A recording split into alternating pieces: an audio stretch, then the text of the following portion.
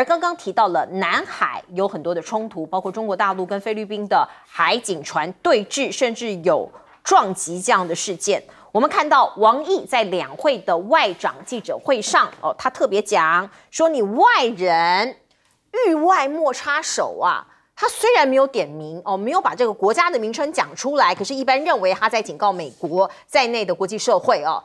呃，王毅的原文是这样讲的，他说：“奉劝某些域外的国家，你不要挑事生非，选边站队，不要成为南海的搅局者或者是肇事方。”而另外，我们再来看看澳洲跟东协有一个峰会哦，那本来依惯例都要有一个声明嘛，可是这个声明哦，叫做墨尔本宣言。本来的那个版本，后来有做一些删减。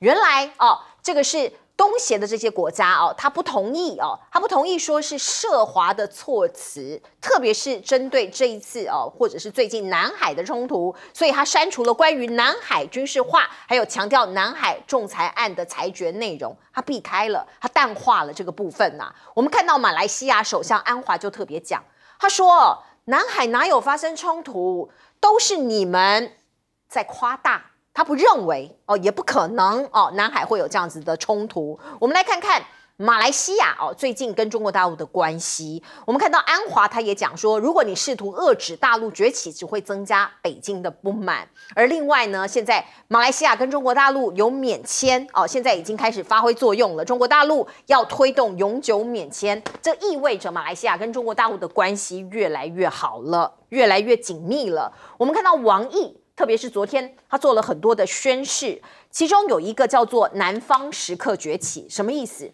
南方啊，全球南方国家，这是二零一七年习近平先提出来的一个概念，讲的大概是包括亚洲、中东啊、拉美啊、非洲这些哦发展中的国家。所以王毅讲说哦，这个金砖哦，大家知道金砖四国不断的在往外扩充嘛哦。是全球南方群体性崛起、世界多极化进程加速推进的展现哦。大家搞集团，可是他要把这些通通哦联盟在一起。而我刚刚讲的全球南方国家已经占世界经济比重的四十以上了哦。所以他认为这个运动或这个现象正在深刻改写世界经济的版图。另外，我们再看到他刚刚提到的金砖国家。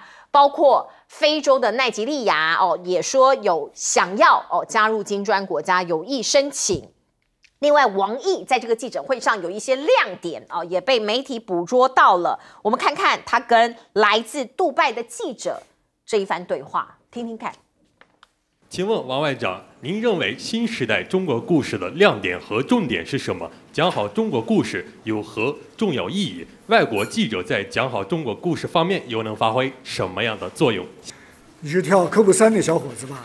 我在短视频看到过你，还要继续跳吗？好，刚刚这个现场的来宾都说，哇，这个外国人怎么中文讲的这么好？其实他是一个这个记者，在杜拜哦，那跟中国大陆的这个有一些所谓合作的关系，可能有一些在采访上面的一些关系。那他本人也学了很多年的中文，所以他中文讲的非常非常的好。那过去他在他自己的 social media 上面有在跳科目三哦，所以王毅有看过啦，所以有认出他，大概是这样子的一个故事哦。那也必须要讲，因为中国大陆的经济实力呀，军事。是各方面的崛起哦，所以现在在学中文的人越来越多了哦。包括我们看到王毅，有人说他老骥伏枥哦，因为毕竟他现在年事也蛮高的，可是他的战狼风格未改，炮口也对向美国哦。他再度批评美国，说得了中国焦虑症，对中国的方方面面都非常的焦虑哦。王毅的原文是这样讲的：他说，拜习会之后，美国如果总是说一套做一套，那大国的信誉何在？他认为，美国如果一听到中国就焦虑、就紧张，那你的自信在哪里呢？哦，王毅说，美国只让自己保持繁荣，可是不允许其他的国家发展国际哦，不不允许其他国家发展哦，国际公理何在呢？包括他提到了最近的。高端的这个呃产业链哦被这个垄断哦一些贸易战啦科技战呐，如果你让中国停留在低端，那就不公平了呀哦，他其实就把过去这一两年对于中国大陆的封锁跟呃所谓高科技的一个阻绝哦，都讲出来他的不满了。而另外呢，这一位战狼总司令哦，我们可以看到呢，他的安排是什么？因为大家知道，在中国大陆的这个记者会是来自于真的是各国的记者，可是他们会有一些问题的安排，事先会问说，哎，哪几家媒体？哪一些提问可能要给你一些 quota？这一次呢，他对于哦这个欧美的媒体哦看起来比较不友善，因为只给欧美媒体两题，总共可以提问二十一题嘛哦，那其他都给友邦、南方国家还有中国媒体，所以呢，我们就整理出来，像是这个所谓代表性、标志性人物的战狼总司令哦，对各国友善，打温情牌，对美国强硬哦，采取这样的态度，对犹疑的欧洲国家。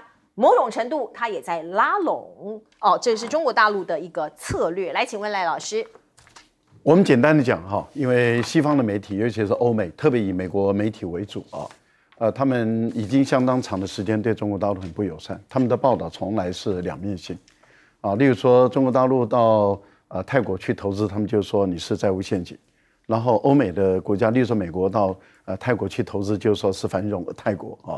呃，美国的工厂公司到中国大陆投资，他就说为了要啊提高你的就业机会，是有助于中国的发展。中国你应该感谢我。中国企业到美国去投资，就是说你为了要来我搞我国家安全，我要打压你。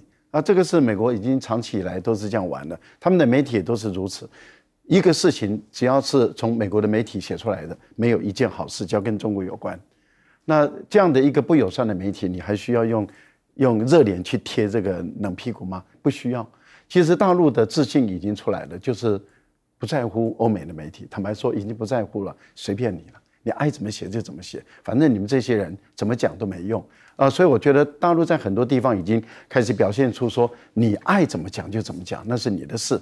那但是他在拥抱的是谁？拥抱的是更多的国家。也就是南方的国家，发展中的国家，整个非洲大陆、整个拉丁美洲、整个亚洲、整个中东地区，你看他拥抱的是这一些国家，而这些国家基本上来讲，他们也越来越向中国大陆这边靠近了，因为他们也发觉欧美的这种双标性让他们越来越远离，连欧洲自己的外长都说，我们的双标失去了我们在整个第三世界，就是发展中国家的信任，他们已经远离我们的，如果我们再不改的话。我们将会失去所有的影响力，这是欧洲的外长对于他们的整个欧盟二十七个国家他们的外长所说的话，也就是他们希望说，我们真的应该要改变双标了，因为我们在一直用双标过日子，我们已经失去全世界所有的国家对我们的信任。欧洲有这个反省，美国你不用想，他会有这个反省，打死都不会有。那我们来看看这次为什么会谈到南海的问题？澳大利亚跟东盟，东盟二十七。东盟十国跟澳大利亚的会议中，怎么会环绕在这个南海这个部分？其实这个是美国、澳大利亚跟菲律宾合演的一场戏，因为平台是在澳大利亚，澳大利亚是主办方。嗯，澳大利亚是主办方，平台在澳大利亚，美国受益航罗斯福号航母就在他们开会的期间进入了这个黄岩岛的南方，在仁爱礁的北边。那么在开会的期间都在谈南海的问题。第二天，菲律宾的船。就进入了仁爱礁，就被中国大陆驱赶了。然后 CNN 的媒体早就准备好，就跟着菲律宾的船上去拍镜头，然后大肆的宣传。可是你会发现，大陆根本不在乎了，也就不在乎你美国的媒体怎么宣传，而海警船该怎么做就怎么做。然后你菲律宾一直在哭诉说，你撞了我的船，你用你的喷水喷坏我的船。但是大陆的态度很明白的，就是王毅的态度就是域外的国家你在捣乱。我们就是坚决的回回应。那习近平昨天的讲话就很明白了。他在解放军的人大代表中，他讲话很清楚，该打就打。所以他要大陆的海警跟大陆的海军，当然讲到大陆海军，就包括大陆的海上航航空兵，就是海军空军呐，以及战略导弹部队在南海。那南海指的是谁？域外国家指的就是美国。那也就是说，其其实习近平的下令就很简单的。准备好军事斗争，该打就打。那这个其实就跟对美国、对其他的国家就释放出讯息了。外交上我们是强硬的，海警执法更强硬。那么如果碰到军事，该打就打。我觉得美国不要以为说大陆不会跟他打，我觉得美国自己要想清楚，海上你跟中国大陆打的可能性是越来越高了。嗯，是。来，有明老师，有明老师。嗯，这个。特别峰会哈，在墨尔本，是呃，它真的是一场秀，是，呃，而且其实国际的焦点是放在他们对于加沙问题要求立即停火，哦，那也是为了针对就是印尼的总统那个佐科威，啊，还有新加坡的总理就是李显龙，他们要今年离职了嘛，啊，所以呢有这样子的一个氛围，但是很清楚，他们也都知道，美国、澳洲跟菲律宾在演一场戏。因为三月四号开，三月五号菲律宾就四艘船就要去接近这个仁爱礁，然后呢，上面又有 CNN 又有华尔街日报哦。那这艘船呢是日本捐给呃菲律宾的两千多吨的，所以看起来还蛮新的哦。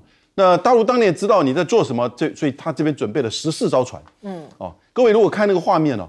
我还看了三遍，我才确定说，哎，他们真的有擦撞，嗯，他那个才叫擦撞，嗯，他那个不叫碰撞，嗯，他那根本不是这样子横撞，对，跟我们那个在金厦那个水域的不太一样，就像两台车这样，他们是很客气的，这个肚子 擦一下，碰肚子一下，擦一下，就是这个画面，刚刚那个画面，It's a show，嗯，这是一个表态，嗯，这是一个表态，然后之后呢，他们又开了记者会，大力的批判，就是说中国大陆的这个动作危害区域和平。美国驻菲律宾的大使，美国的这个是国务卿康达 也这样子讲，但都这个点到为止。有趣的是，刚刚不是看到那个水炮不是砰喷过来，把那个菲律宾的船的玻璃给打破了，嗯，然后有四个人受伤。对，小马可是在记者会上说，嗯，这个这个就不会启动美菲共同防御的一个 这个这个这个要件哈，只是玻璃破了，然后不需要美国人 借来替我们来打。嗯，这就是一种表态，但这个表态我们要看另外一面。在这个会议当中啊，安华就说：“你不要这边惹事。”然后呢，越南、呃，这个这个印尼哦，新加坡通通都不讲话哦。然后就是泰国，他反而还说这个东西可能会影响到，就是我们跟当中国大陆关系。所以现在反而啊，你要去影响东南亚，影响不了了。现在就剩下一个，就是菲律宾。那大陆批评他说：“你不要再做棋子。”感觉上是真的有这样子。嗯。而美国下这个棋呢，他又不敢用自己的手去下。哦。那透过小马可士。嗯。那水炮都打过来了，人都受伤了，你居然自己还招认说：“呃，不影响，呃，没有，不需要引用美菲的这个互动。”那至于说这个，这为什么是这样子哈？美国基本上其实是要让这个南海议题一直存在。也就是让这个仁爱礁它不会进一步的军事化，因为仁爱礁是一个很好的军港。如果军事化的话，我觉得关键在这边。嗯，那至于王毅在这边的话，我觉得其实很简单了。这是一个我们将来从中国外交史回过来看啊，他昨天的这个讲话就是一个正式的中国立场的宣示。嗯，也就是中美之间进入到激烈的竞争甚至对抗。然后呢，代表了全球南方国家，我们都坐在餐桌上。嗯，是，哎，董明姐，这个王毅啊，是一个台湾比较熟悉的人哦，因为他之前呃有一度做过国台办的主任，没错。那你观察王毅哦，从国台办主任到他后来接，他在接外交部也很久了，他在外交体系很久。看到他这次啊，尤其我刚才很注意看他跟那个杜拜记者的互动，嗯，我觉得王毅哦越来越从容，好，然后越来越释放自我，好，我对他在做国台办主任的时候印象还蛮深刻的，我觉得他是，嗯，感觉上呢很很温和、很客气，但是很守分际，好，很少流露出自我的个性，好，可是你看看他，他说，哎。你就是那个科目三的那小子，好。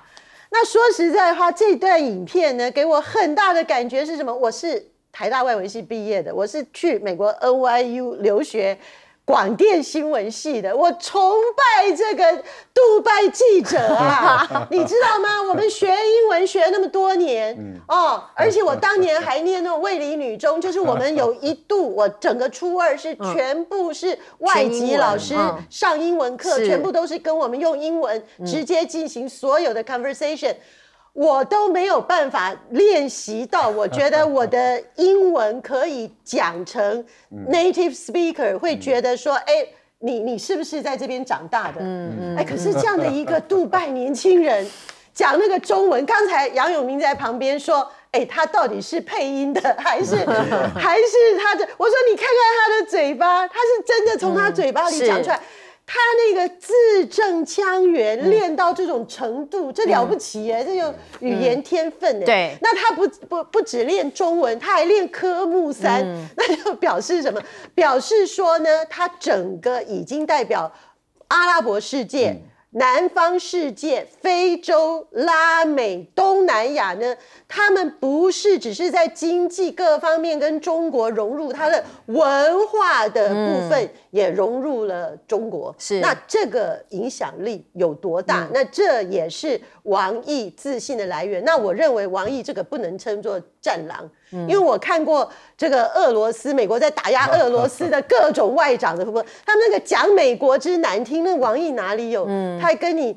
好好的 温文儒雅，温文儒雅，还常常讲了中国式的哲学，这算什么战狼啊？这个叫据理力争而已，刚好而已。刚刚永平姐讲这个 native speaker，我们在北京其实很多老外，他们的中文就是讲的这么这么好，真的好惊人，很厉害。对，他们的他们的语言天分超过我们。没错，我觉得很多人的语言天分都很高。不过观众朋友，我们再来看看最近播音到底怎么回事，是不是要去拜拜了？那当然，呃，他的这个空。空中事故不断，我们先来看看这个最新的画面，请导播让我们看看，这是一架从旧旧金山起飞前往日本的波音七七七班机哦，它是联合航空的班机，它起飞没有多久，它的起落架的一颗轮胎就从天而降。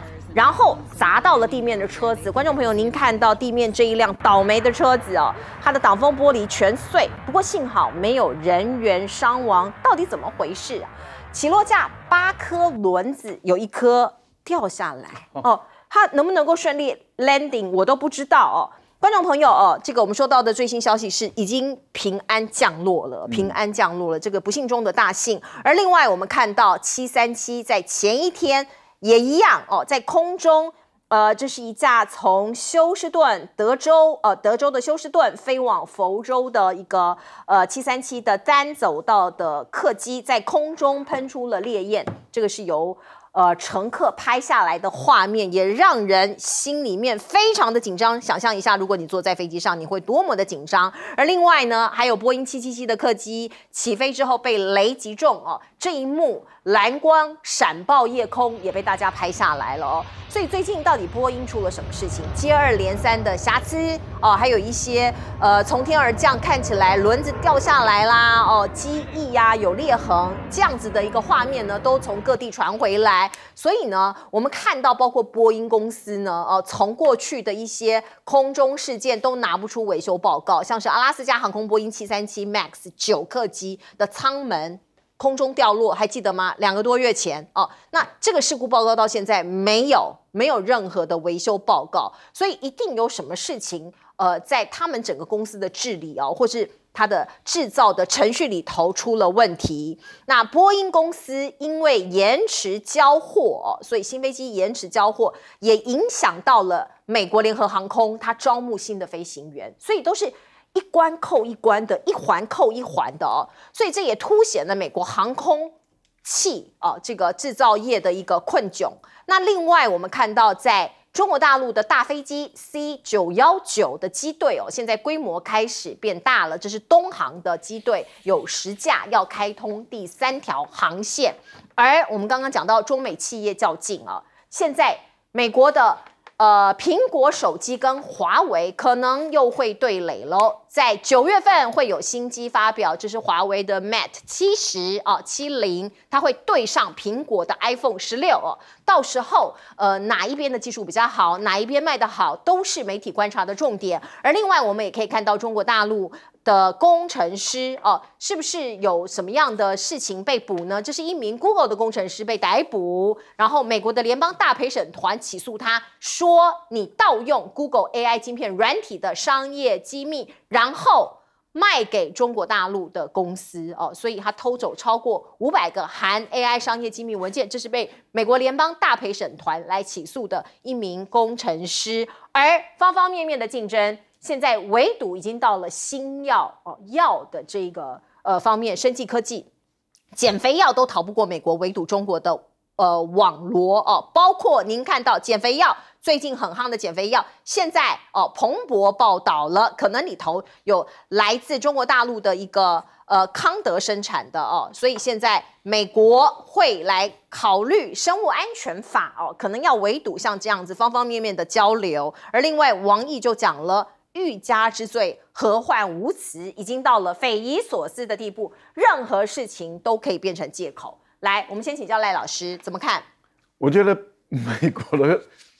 这个波音啊，我们前面一直在强调，好像有点得到鸡瘟一样哦，它是一连串的问题。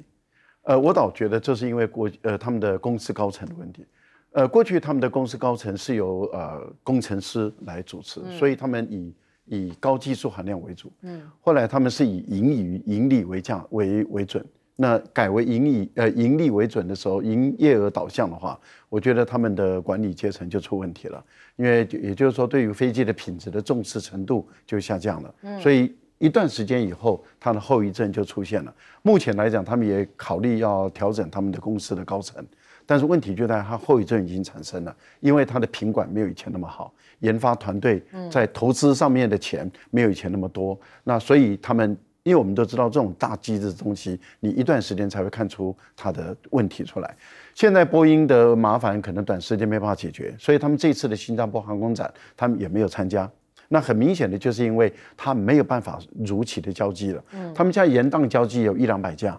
那很多人就不敢下下订单了。那他订单越接越少的情形下，那他的生产规模就会出问题。他现在的你刚刚讲的飞行员也有问题了，可是他生产线能不能维持也都有问题。我觉得波音是一个很大的麻烦。那中国大陆就在这个时候，C 九幺九刚好成熟，而且刚好上市，而且本身已经在中国大陆，它像东航已经要开第三个航线，而且。几乎班班客满，都九成的做客率。您对航空业也了解，九成不得了啊，对不对？因为九成呢就是稳赚了。那你想想看，这样的情形下，C 九二九就卖得更好。那他在这次的新加坡的航空展中又获得了四十几架订单，那他要想办法要扩充他的订单，所以他新加坡结束以后，并没有直接就回到这个虹桥机场，他回他去哪里呢？他就去了这个越南，然后再从越南要去柬埔寨到老挝，然后还要再到马来西亚，再到印尼去，他等于是整个的走一片来去推销它。原因很简单，他是尽快的想办法抢更多订单。他订单如果抢更多的话，他的生产线的规模他才敢，他才敢扩大嘛。因为你知道，我现在假设我一年本来只能生产二十架，那我本身我想生产到像空中巴士一年可以四百多架。假设我说我两百架，那我要有订单，我要有订单要要两千架以上啊。嗯。可是我如果没有订单到两千架以上，我的生产规模不敢扩那么大。那这样的话，你等我等到我交机，等十年，那谁还买你的飞机啊？所以我觉得对大陆来说的话，他就利用波音机问的时候，他拼命的要扩充。所以波音也刚开始的时候有点像马斯特，嗯，像马马斯克瞧不起比亚迪一样，对，马斯克当时哎。比亚迪是算什么车子嘛？波音刚开始也认为，哎，你 C 九二九算什么飞机？现在他说他是我很重视而且具有威胁性的竞争对手。这代表什么？这代表中国大陆在大飞机这个部分它走出来了。我觉得这又是另外一个局面哦。那也就是说，大陆天上飞的，然后地上跑的这个比亚迪或者是高铁到海上走的，它几乎全部都有哎。嗯，是。来，我们进一下广告。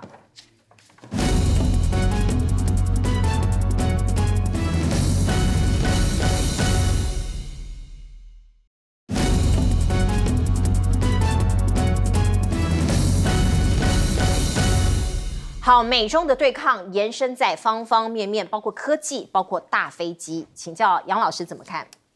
波音的问题其实大家已经讨论很久了哈，它砍成本，它砍供应链的这个成本，你当然就造成就是你的供应链的这些呃零件呐，或者是组件呐，呃品质下降，嗯啊，然后你组装的过程当中呢，你对于员工的这些这个重视跟照顾哈。不够，他最近今年开始在加强用奖金的这个制度。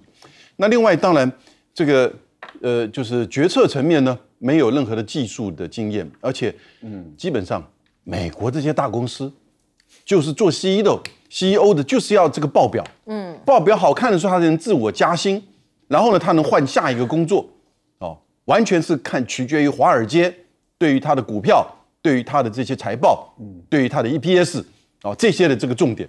因此，在这样一整下来，代表什么东西？这已经不是单纯波音的问题。嗯，美国的制造业，美国的制造业其实已经完全的走下坡。制造业在美国占它的 GDP 大概只有一成而已，一成，在中国大陆是四成。嗯，好，我最近看到一个视频，我觉得蛮好笑的。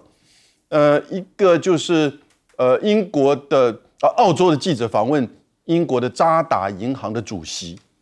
他说：“哎，中国如果做这些便宜的东西，我们当然没有问题啊，大家都用的很很很高兴呢。可是如果他们发展这些高端的东西啊，我们当然就要要要用贸易战、科技战来去压制他们。那个扎丹、那个扎达的主席，当然也是个英国人哈，就有一点啼笑皆非。他心里在想：哦，所以你可以发展高端，人家不可以发展高端了。就他的回答，但是很这个有技术性。他就说：我们不是强调竞争吗？如果说别人做高端的东西，为什么我们不增增加我们的竞争呢？你必须要了解为什么今天中国在全世界做这些商品、做这些制造业能取得这些成就，我们其实必须要有所了解。嗯，讲得非常的委婉，但是呢，显然听不进去在西方的政客跟媒体的耳中。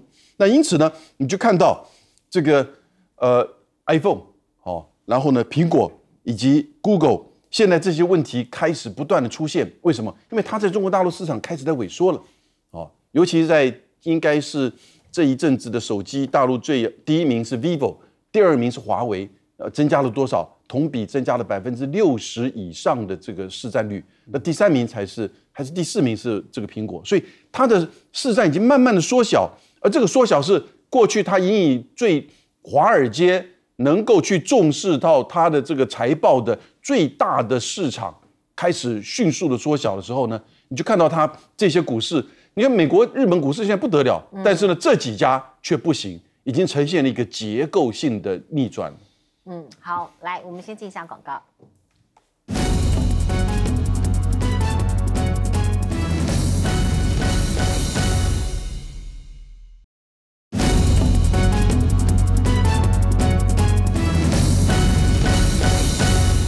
永平姐怎么看播音的问题？说真的，播音的问题已经讨论到哦，大家其实都觉得说呀，又来了，又来了。你如果真的问我真心话，我就觉得它就是个烂公司，这么直接。对，我觉得它就，我就是，我觉得它就已经变成是一个烂公司。而这个烂公司呢，美国整天在谈 free trade。对不对啊？自由贸易，然后呢，他每次在中攻击中国大陆呢，你看那个川普整天就讲那个，对不对？连拜登现在也都用那个共和党那一套的处境，就说你看你们中国大陆多么不平等的贸易，你们为什么呃做这么多补贴？你们如何如何这这这个手怎么介入？那你波音，美国的政治没有介入吗？你看看他们那些参众议员啊，来台湾是怎样？直接跟蔡英文讲，哎，你波音你要给我们买哦，几架都讲出来，对不对？那他会这样子对付蔡英文，他不会去对付小马可是吗？他不会去对付其他他可以控制的国家吗？美国在世界各地，尤其那些参众议员，整天这样访问团来访问去，对不对？你还得当成上宾对待他，你还得招待他好吃好喝的。然后呢，波音也是这样子被他扶植的，啊不是吗？那你凭什么讲别人？然后你凭什么不给人家竞争？哦，所以我是觉得说已经变成一个烂公司。那当然，波音变成烂公司对美国来讲很丢脸，因为美国本来是汽车业起家的，可是它汽车业已经早早的就输给日本、输给德国了，对不对？两岸现在局势越来越紧张了吗？因为我们的国防部部长邱国正昨天这一句话让大家很紧张。他说啊，现在哦两边呐哦敌意螺旋升高，在。虽然都在克制，可是万一擦枪走火，谁都不敢保证。还自己说自己晚上都睡不好。那记者今天又再一次问邱部长说：“您昨天睡得好吗？”邱部长说：“不要再讲了，讲了以后睡得更不好了。”我们看到昨天，其实邱国正部长已经讲了，未来我们国军第一级的要件修正了，怎么修正？内容是什么？来听听看。不好？不然昨天睡得好吗？跟你说，这是两岸情势，让你好像……哎，不要再讲了，好不好？你讲有今晚更睡更更不好了。所以第一集以前呢，他开枪开炮，我们哦，他的第一集，我们才做一个反制。他现在我们把它当做一个像这个无人机，它不是枪弹啊，它也来了。对，那我们这个时候我们把它打掉，我们不是第一集，它第一级，我们把这个界定把它很清楚。好，如果对岸的无人机过来，我们把它打掉。可是不是我们第一级，是他，因为他先越界哦。这是邱国正部长刚刚的说法，有一些修正了。不过两岸的风险到底是高还是低？会不会打仗？用大白话来讲，看起来国安单位跟国防部风险评估不同耶。哦，民进党团说没有啊，哪有不同？完全一致。不过我们先来看看顾立雄的说法跟邱国正的讲法到底有没有相同呢？顾立雄是说，新的一年国家安全可控，可以控制的。可是邱国正的说法是，最近每天都睡不好，提心吊胆，担心擦枪走火。哦，那就现在军方来看，就是濒临状态哦，濒临呃这个危险的状态吗？外界会有这样的质疑呀。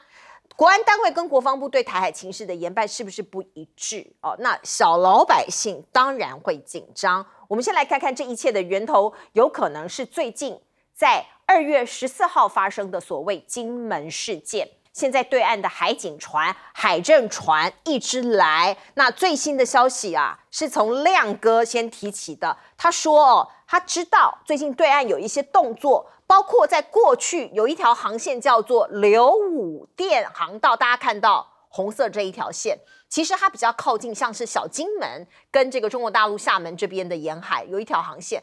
可是呢，过去中国大陆没有用哦，它没有用，它有一些淤积哦。那现在开始中国大陆有动作了哦，有一些挖泥船出现在这个航道，要去疏通做疏浚的工作哦。那过去这些中国大陆的船只，我讲了嘛，它都是绕绕路哦，从这里。哦，这个大胆岛跟青屿中间这样走哦，避开我们的所谓的禁制、禁限制水域，对台湾有一点让利啦哦。虽然嘴上不说，可是大家都知道。那以后呢？哦，他就直接这样走，哎，他就直接这样走，哎。那我们的国军海巡可能就要紧张了哦。他们现在正在做疏浚的工作，有没有可能对中国、中国大陆对我们哦的压力会更大了呢？尤其。在包括小金门，包括在大胆岛都有我们的驻军呐，那是不是态势就会让人更紧张了呢？我们看到最近大陆在开两会，习近平释出军事信号，他提到了海上斗争准备，什么意思啊？哦，他是这个是这个是三月七号，昨天出席解放军和武警部队代表团全体会议的时候，习近平说要统筹海上军事斗争准备。海洋权益维护海洋经济发展，提升这个经略海洋的能力。尤其最近在南海啊，有一些国际的冲突，所以呢，呃，大家对于习近平的讲话是更加的注意了。而我们看到中国大陆过去不是在讲他在发展他的海军吗？他的第四艘航母有没有可能是核动力呢？蔡正元说有可能，而且这是冲着美国来的啊。那这个是中国海军政委袁华志，他说中国大陆新建航母没有技术瓶颈啊，是否会采用核动力，很快就会公布了，外界也不用猜。那第四艘航母的命名会用沿海的省份为主哦，沿海那哪一个省份，大家就可以哦，有很多的这个揣测哦，网络上也有很多的说法。蔡正元也讲哦，这个是中国大陆未来第四艘航母啊，有核动力是正常的，因为有核动力，它的续航力会非常的长，就可以长期留在印度洋还有红海这些敏感的地区，就像是摆好擂台。捍卫中国大陆的海权，而另外我们看到有一则新闻是来自于美国，美国的情报士官涉嫌向中国泄密啊，这一位美国的陆军情报分析员舒兹哦，他被逮捕了，被指控涉嫌向中国出售美方和台湾有关有关的防务武器系统、飞弹防御系统等敏感的军事文件，其中还包含假设台湾受到武力攻击的时候。美国的因应计划，据说他已经收到了汇款四点二万美元。我们先请教永明老师怎么看，包括邱国正的提心吊胆说，以及金门事件的后续发展。我觉得邱国正有关于第一集的这个因应方案的改变，哈，千万不要小看他。那因此他睡不着，就是因为这个改变，因为这个改变。一定不只是他，还包含国安会、陆委会，甚至某种程度，也许会咨询美国的这个讨论的过程当中，因为过去不是这样子，过去是我们遭受攻击之后我们会回应，啊，尤其是在去年八月佩洛西来台湾的时候，这都讲出来，没有错了。蔡英文以前都讲说啊，你跨越海峡海峡中线我会打你，那个是政治喊话，不一样。现在是国防部长把这个第一集哈，而且他那个词句用的很精准。嗯，他在立法院是审那个沈沈沈博阳询问他，是，然后他回应啊，用这种方式来去做这个表，就是说一种公告。他怎么说？他说，呃，以前是把就是说对方开炮，我们才有第一集就回应回击哈。现在第一集的界定。是无论其为航空或海航的实体逾越了规矩，规矩第一级就当做是我们的反制，哦，不是台湾挑起的。各位，这个每一个字眼呢，词句这都都是很这个推敲过的，也就是对方的航空或海航的实体，所以连无人机都算哦，哦，船舰呢，啊等等之类，逾越了规矩，他不想他不讲界限。这个规矩，我先讲界限好了。这个界限已经不是海峡中线，这个界限其实就是领海领空那个线，十二海里。哦，那但是呢，它也不是那么严格的这个线的概念。那有可能是你进来一下出去嘛，嗯，哦，或者是说你接近中线或者之类。那在试探，他不觉得你那个算是逾越了规矩。规矩可能两个意涵：第一个，你进入到这个线里面；第二个，你可能有攻击的企图。因为等你进入到十二海里，然后呢，进入到台湾本岛的时候，其实那都是一分钟的事情了。嗯，呃，不过那个这个各位知道，我们的领海基线哈是从基隆这边往澎湖这边拉的，所以呈呈现一个三角形的这种情况哈。那如果把台湾右边的东岸算进去的话，有点像菱形一样。所以呢，在这个范围之内都是我们的内水，但是它一进来之后呢，其实到台湾的本岛或到台北，那都是一分钟的事情。可可是可能是一个意外事件，我觉得这个是一个新的画底线，或者是民进党政府在把这个底线跟红线啊画出来。嗯，那真的会不会这么做到？那我就不知道。可是呢，它等于是说，因应现在台海情势的紧张，它不是真的在看，就是说在。呃，金厦水域的这个冲突的事件，有关于刘武电航道哈，嗯。嗯，我不敢说它是假消息，可是呢，呃，经过一些查证，它是来一个就是公众号叫做梁雨婷哈，那很多图片我们看的那个图片都是哈，那可是呢，呃，查询央视、中新华社、环球网、网易这些通通都没有，嗯。哦，所以我不知道这个是是真是假，而且这么做其实又如何呢？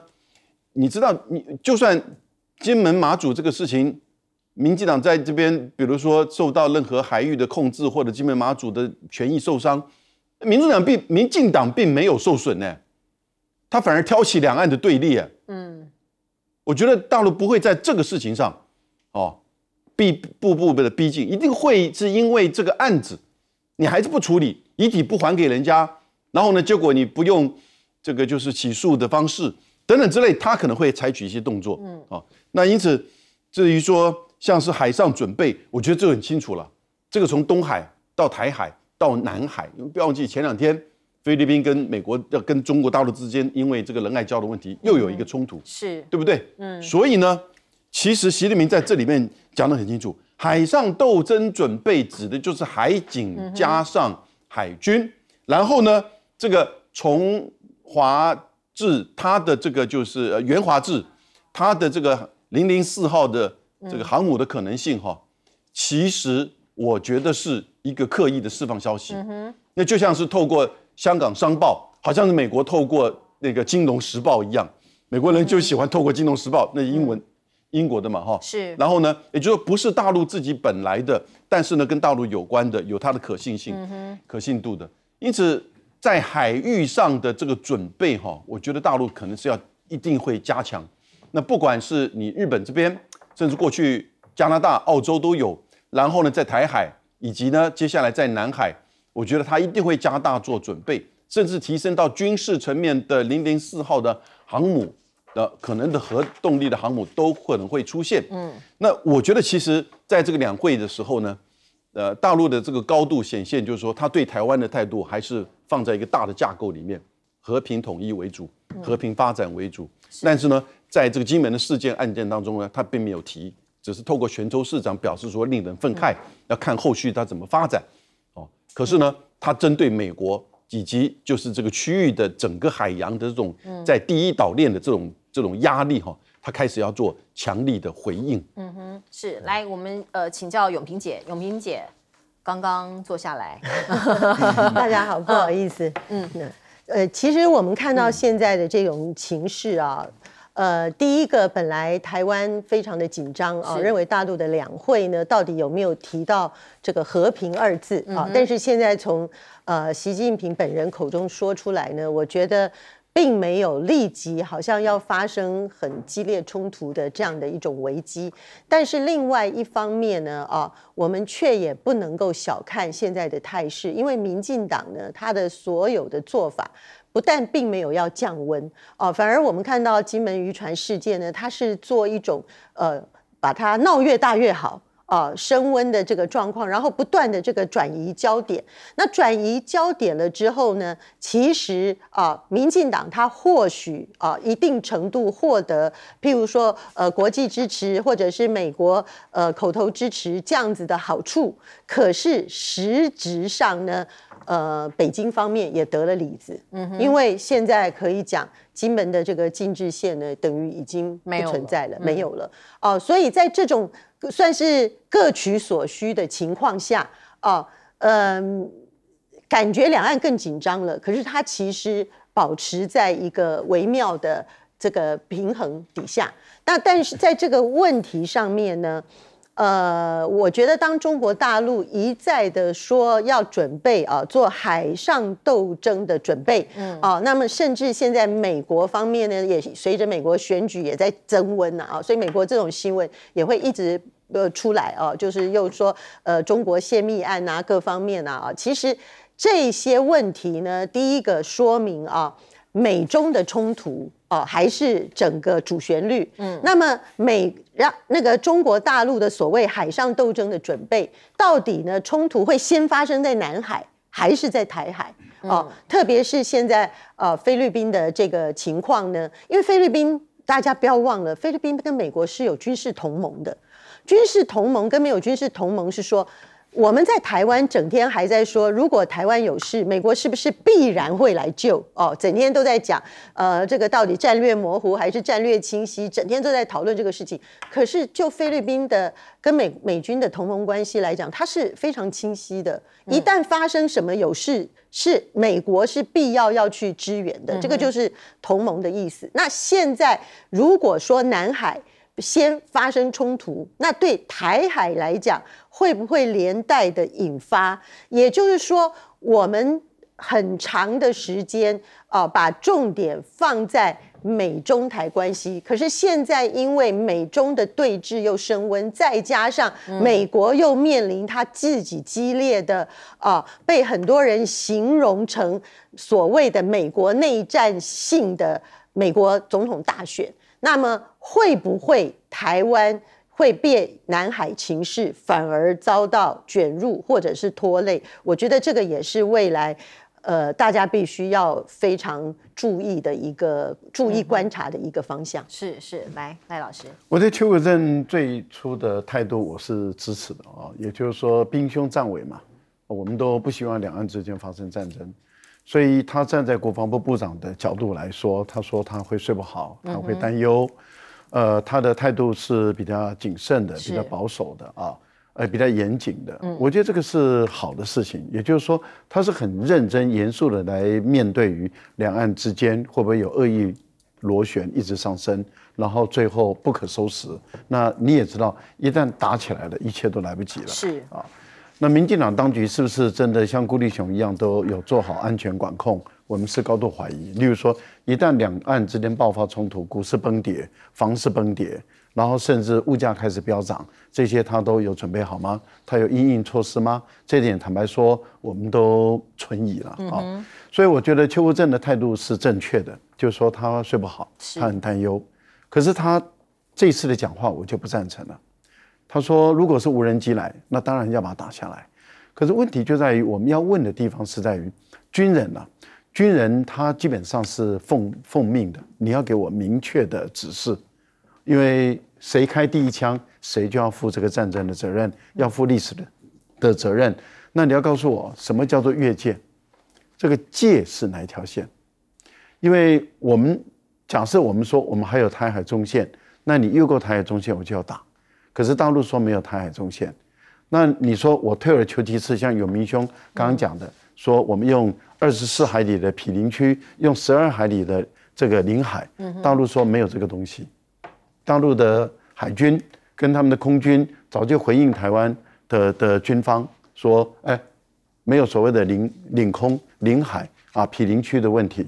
那你邱国正，你的界限到底在哪里？明确的界限，你要告诉军人。嗯，第一个你要告诉军人说你的界限在哪里。第二个授权到哪里，谁就可以开枪。还有第三个，有人机跟无人机如何辨识？”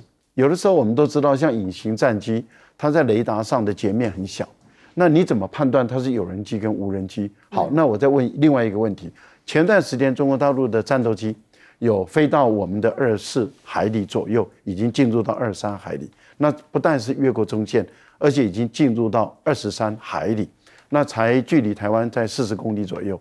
那如果以我们的战斗机的飞行速度来看的话，一分钟就进台北市。可是如果以战斗机的机载的导弹来说的话，它可以打到三百公里，空对地、空对海，可以打到三百公里。你想，在我们的这个不管东北或者西北。四十公里的地方，台北早就什么地方都可以，都是它的射程，全部是他的攻击范围内。对，不管你的总统府的办公室，或者是你的军事要塞横山指挥所，或者是你的军事基地，或者是你的爱国者的这个导弹基地，其实都是在他的攻击范围内。那你告诉我，这是该打还是不该打？嗯，是。所以我觉得邱国正你在。讲话的时候，你就必须要很确定，你你的脑袋里面、你们的国防部里面、你的国家安全单位里面，是不是都有明确的一个界定？你要白纸黑字给这个军人哦，嗯，你不能够只是一个你的嘴巴哦，嗯，你即使你用电话通知，也要有电话记录，而且大家要签名的，要认账的。我觉得这个部分里面，一个军人一定要把时间、地点，就是我们常讲的六合，讲得清清楚楚，嗯，不然的话，我第一线的指挥官。你告诉我我怎么打？无所适从。我无所适从啊！你说你自己去判断那个什么叫做禁制线，我不知道。我默契线规矩，什么叫规矩？我也不知道。嗯，对，规矩其实是一个很模糊的名词，而且历史上很多战争的发生都是源自于一点点小小的失误或者是误解哦，所以真的是呃，大家要非常非常的谨慎来看待这件事情。